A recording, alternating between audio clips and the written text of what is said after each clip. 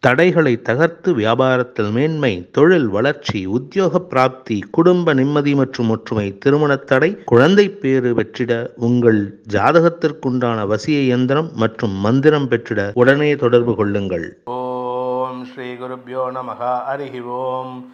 ஜெய் புவனேஸ்வரி. அனைத்து வேதிக் கேஸ்ட்ரோ நேயர்களுக்கும் உங்கள் வேத ஜோதிடர் பிரகாஷ் நரசிம்மனின் அன்பான வணக்கங்கள். மார்ச் மாத ராசிபலன்கள். இந்த மாதாந்திர ராசிபலன்கள் அனைத்தும் பொது பலன்கள் மட்டுமே.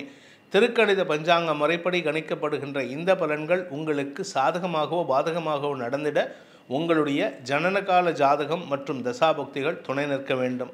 இந்த மாதத்திற்கு உண்டான கிரக நிலவரம் மார்ச் மாதம் ஒன்றாம் தேதி என்னைக்கு பார்த்தேன்னா மேஷத்தில் குரு கன்னியில் கேது துலாமில் சந்திரன் மகரத்தில் சூரிய சுக்கிரன் செவ்வாய் கும்பத்தில் சூரியன் புதன் சனி மீனத்தில் ராகு.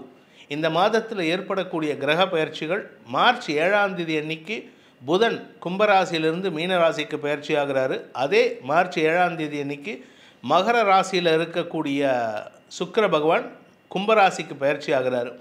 மார்ச் பதினாலாம் தேதி அன்னைக்கு கும்பராசியில் இருக்கக்கூடிய சூரியன் மீன ராசிக்கு பயிற்சி ஆகிறாரு.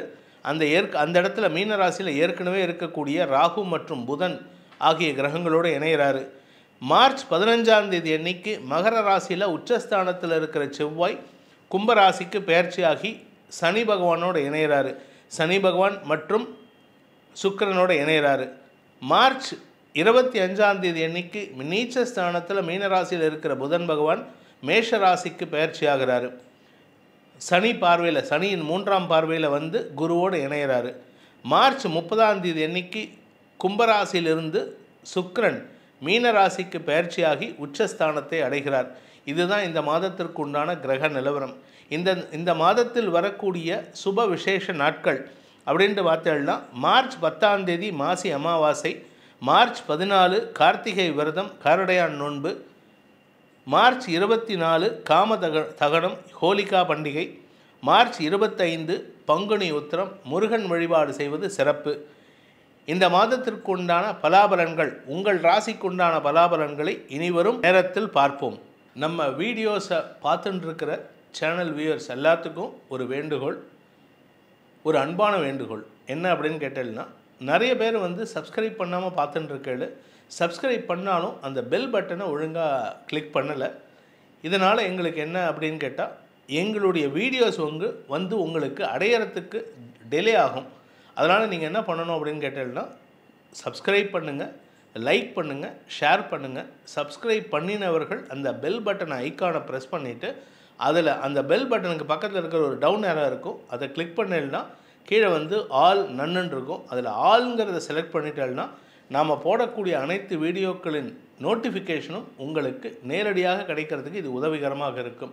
அதே சமயம் நம்ம சேனலில் கோயில்களும் பரிகாரங்களும் அப்படிங்கிற ஒரு டாப்பிக்கில் புதுசாக கோயில்களுக்கு சென்று அந்த கோயில்களுக்கு உண்டான மகிமைகளை தெரிந்து கொண்டு அந்த கோயில்களில் செய்யக்கூடிய பரிகாரங்களின் கிரமத்தை தெரிந்து கொண்டு அதை நேயர்களுக்கு பகிர்ந்து கொள்வதில் பெருமை கொள்கிறோம். அந்த வகையில் உங்கள் ஊரில் ஏதாவது கோயில் இருந்ததுன்னா கூட அதாவது பழமையான கோயில் ஆயிரம் வருஷம் ஐநூறு வருஷம் எட்நூறு வருஷம் இரநூறு வருஷத்துக்கு மேலே நூறு வருஷத்துக்கு மேலே எந்த கோயில் இருந்தாலும் அதனுடைய தகவல் தகவல்களை அடியனுடைய வாட்ஸ்அப் எண்ணிற்கு பகிர்ந்து கொள்ளுமாறு கேட்டுக்கொள்கிறேன். எங்களுடைய ரொட்டேஷன் பேசிஸில் நாங்கள் நிறைய கோயில்களுக்கு போயின்னு இருக்கோம் அந்த மாதிரி உங்கள் ஊர் கோயிலுக்கும் வந்து உங்களுடைய ஊரின் மகிமையை தெரிந்து கொண்டு அந்த கோயில்களுடைய வரலாற்றை மக்களிடம் எடுத்துரைப்பதற்கு முயன்று கொண்டிருக்கின்றோம். அதற்கு உங்களுடைய உதவியை நாடுகின்றோம். முடிந்தவர்கள் உதவி செய்யலாம். அன்பிற்குரிய கடகராசி நண்பர்களுக்கு இந்த மாதத்தை பொறுத்த வரைக்கும் உங்களுக்கு செலவுகள் குறைந்து வருமானம் அதிகரிக்கக்கூடிய யோகமான மாதம். ஏன் அப்படின்னு பார்த்தேன்னா விரையாதிபதி நீச்சஸ்தானத்தை அடைவதன் மூலமாக செலவுகள் குறைகின்றது. வருமானம் அதிகரிக்கிறதுக்கு உண்டான யோகத்தை ஏற்படுத்துகின்றது.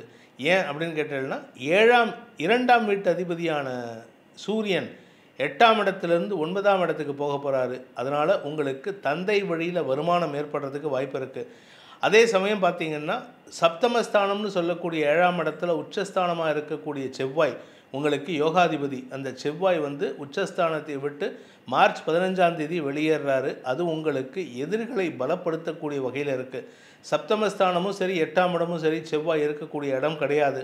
அதனால் கடகராசியை பொறுத்த வரைக்கும் நண்பர்கள் மற்றும் வாழ்க்கை துணையுடன் கருத்து மோதல் ஏற்படுறதுக்கு வாய்ப்பு இருக்குது இந்த மாதம் முழுவதுமே. அதனால் முடிஞ்ச வரைக்கும் குடும்பத்தில் வாக்குவாதத்தை தவிர்ப்பது நல்லது. குடும்பத்தில் ஒரு பிரிவினை ஏற்படுறதுக்கு வாய்ப்பு இருக்குது பண விவகாரத்தில் பிரச்சனை கிடையாது. வருமானத்தில் பிரச்சனை கிடையாது. வேலையில் பிரச்சனை கிடையாது. ஆனால் கணவன் மனைவி உறவிலோ பார்ட்னர்ஷிப் பிஸ்னஸ் உறவிலோ அல்லது சக பணியாளர்கள் உறவிலோ சிக்கல்கள் ஏற்படுறதுக்கு வாய்ப்பு இருக்குது வழக்கு சார்ந்த பிரச்சனைகள் தலைதூக்கக்கூடிய வாய்ப்பு இருக்குது இந்த மாதத்தை பொறுத்த வரைக்கும் மார்ச் மாதத்தில் கடகராசியில் பிறந்தவாளுக்கு உண்டான யோகமான நாட்கள் அப்படின்ட்டு பார்த்தீங்கன்னா மார்ச் ஒன்று இரண்டு நாலாந்தேதி ராத்திரி எட்டரை மணிலேருந்து ஐந்து ஆறு ஏழு எட்டு எட்டாந்தேதி ராத்திரி ஒம்பது மணி வரைக்கும். அதன் பிறகு பத்தாந்தேதி பத்தாந்தேதி ராத்திரி எட்டே முக்கால் மணிலேருந்து ஆரம்பிச்சதுன்னா பதினொன்று பன்னெண்டு பதிமூணு பதினாலு பதினைந்து பதினாறு பதினேழு பதினெட்டு இருபத்தி ரெண்டு இருபத்தி மூணு இருபத்தி நாலு இருபத்தைந்து இருபத்தாறு இருபத்தி ஏழு இருபத்தெட்டு இருபத்தொம்போது ஆகிய நாட்கள் உங்களுக்கு சாதகமான பலன்களை ஏற்படுத்தும். இந்த நாட்களில் புது வீட்டுக்கு கொடுத்துறம் போகலாம் புது வீட்டுக்கு பால் காய்ச்சி குடிக்கலாம் அட்வான்ஸ் கொடுக்கலாம் உங்களுடைய வீட்டில் ஏதாவது விசேஷமான பேச்சுக்களை துவக்கலாம் உங்களுக்கு வேலை சம்பந்தமாக இன்டர்வியூக்கு ட்ரை பண்ணலாம் வேலை வேலை மாற்றம் ஏற்படலாம் வெளியூருக்கு ட்ரான்ஸ்ஃபர் வாங்கிட்டு போகலாம் இப்படி எல்லா நல்ல விஷயங்களும் இந்த நாட்களில் செஞ்சுக்கலாம். மாத பிற்பகுதியில் மாசி மாதத்தில் நடக்கலாம். பங்குனி பிறந்தால் என்ன சார் பண்ணுறதுன்னா பங்குனி மாதத்தில் பால் காய்ச்சி வீடு பால் பாய்ச்சி பால் காய்ச்சி கொடுக்கக்கூடாது. வேலையெல்லாம் முயற்சி செய்யலாம். இந்த மாதத்தில் பார்த்தீங்கன்னா உங்களுக்கு சந்திராஷ்டம நாட்கள் இந்த சந்திராஷ்டம நாட்கள் என்றைக்குன்னு பார்த்தீங்கன்னா மார்ச் எட்டாம் தேதி ராத்திரி ஒம்பது மணி இருபது நிமிஷத்துலேருந்து மார்ச் பத்தாம் தேதி ராத்திரி எட்டு மணி நாற்பது நிமிஷம் வரைக்கும் உங்களுக்கு சந்திராஷ்டம நாட்கள். இந்த சந்திராஷ்டம நாட்களில் உங்களுக்கு வேலை நிமித்தமாக வெளியூர் பிரயாணம் ஏற்பட்டாலோ இல்லை டெய்லி பேங்க்குக்கு போகிறதோ இல்லை வேலை விஷயமா ஆஃபீஸ்க்கு போகிறதோ எதுவாக இருந்தாலும் சரி நீங்கள் போகக்கூடிய சமயத்தில் உங்கள் வீட்டுக்கு வாசலில் காகங்களுக்கு காக்காய்க்கு வீட்டில் சாப்பாடு வைப்பாங்க. கூடவே உங்கள் கையால் ரெண்டு பிஸ்கெட்டையோ இல்லை உங்கள் கையால் ஏதாவது ஒரு பழத்துலேருந்து ஒரு காய் மாதிரி இருக்கக்கூடிய பழத்துலேருந்து ஏதாவது உடச்சி போட்டுட்டு போங்க. அப்படி சப்போஸ் அது போட முடியல அப்படின்னா உங்கள் வீட்டில் பெரியவர்கள் படத்துக்கு முன்னாடி உங்கள் கையால் ஒரு சின்ன கிண்ணத்தில் வந்து ஒரு ஸ்பூன் சர்க்கரையை வச்சுட்டு போங்க. இது வந்து அந்த சர்க்கரையை வைக்கும் பொழுது எறும்புகள் வந்து திங்க வேண்டும். அதனால் எறும்புகளுக்காக எறும்பு வரக்கூடாதுங்கிறதுக்காக சுற்றி மருந்தெல்லாம் போட்டுறாதீங்க. எறும்புகள் வர வேண்டும்னு சர்க்கரையை போட்டுட்டு போங்க. அப்படி போட்டுட்டு போனீங்கன்னா உங்களுக்கு சந்திராஷ்டமத்தினால் ஏற்படுகின்ற குழப்பங்கள் நிவர்த்தியாகும். பண விவகாரங்கள் சாதகமான பலன்களை ஏற்படுத்தும். இந்த மாதத்தை பொறுத்த வரைக்கும் கடகராசிக்கு பிறந்தவர்கள் கடகராசியில் பிறந்தவர்களுக்கு யோகாதிபதினு சொல்லக்கூடிய ஐந்து பத்துக்குடைய செவ்வாய் உச்சபலத்தை விட்டு வெளியேறாரு.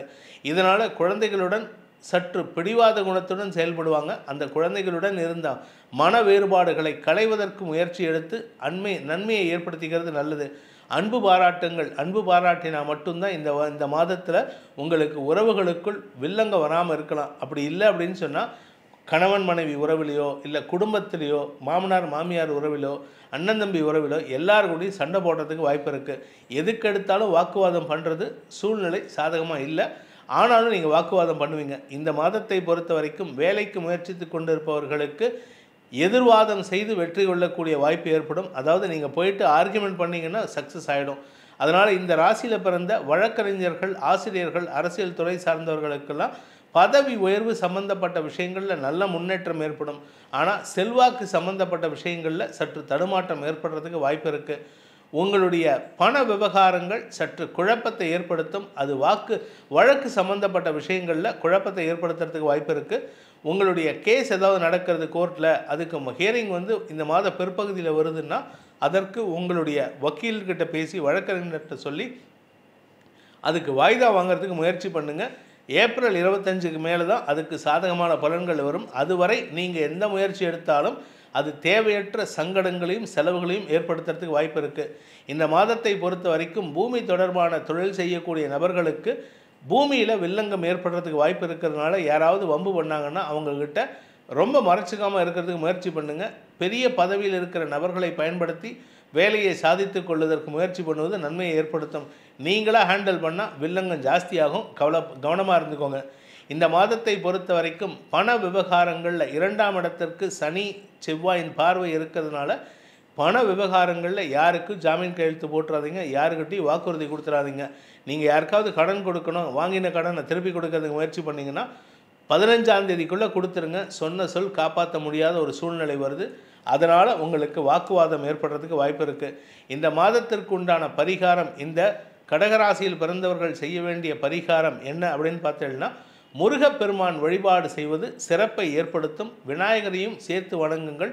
விநாயகருக்குண்டான விநாயகர் அகவலை தினமும் படித்து வாருங்கள். உங்களுக்கு விநாயகரின் அருள் கிட்டி அனாவசியமான வில்லங்கத்தை ஏற்படுத்தாமல் பிரச்சனைகளை ஏற்படுத்தாமல் இருக்கிறதுக்கு உண்டான உபாயத்தை அந்த விநாயகப் பெருமானை ஏற்படுத்தி கொடுப்பார். உங்கள் ராசிக்கு சொல்லப்படுகின்ற பலன்கள் உங்களுக்கு சாதகமாகவோ பாதகமாகவோ நடந்திட உங்களுடைய ஜனனகால ஜாதகத்தோடு இது ஒத்து போகணும் ஜனனகால ஜாதகம் ஸ்ட்ராங்காக இருந்ததுன்னா இப்போ இந்த பலன்கள் சாதகமான பலன்கள் வீரியமாக நடக்கிறதுக்கு வாய்ப்புகள் இருக்குது பாதகமான பலன்கள் வீரியமாக நடக்கணும் அப்படின்னா உங்கள் ஜாதகம் கொஞ்சம் வீக்காக இருந்ததுன்னா அதாவது சுக்ரன் குரு ஆகிய கிரகங்கள் மறைவு ஸ்தானங்கள் இருந்தால் சிக்கல்கள் ஏற்படுறதுக்கு வாய்ப்பு இருக்குது தனிப்பட்ட ஜாதகங்களை பலன்களை ஆராய்ந்து தெரிந்து கொள்வது நல்லது. அனைத்து ராசி நண்பர்களுக்கும் உங்கள் ஜாதகத்திற்கேற்ற பலன்கள் நன்மைகளாக நடக்க வேண்டும் எனும் அடியனின் பிரார்த்தனையை சமர்ப்பித்து உங்கள் அனைவருக்கும் நல்வாழ்த்துக்களை தெரிவித்துக் கொண்டு உங்களிடமிருந்து விடைபெறுவது உங்கள் வேத ஜோதிடர் பிரகாஷ் நரசிம்மனின் அன்பான வணக்கங்களுடன். நன்றி வணக்கம்.